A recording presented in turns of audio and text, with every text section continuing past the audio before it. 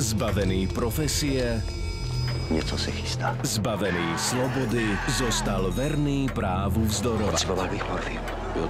Temný príbeh v jednom z najpozoruhodnejších diel československej kinematografie. Absurdita je absurdní, pane docente. A pátý jezdec je strach. V stredu o 22. na dvojke.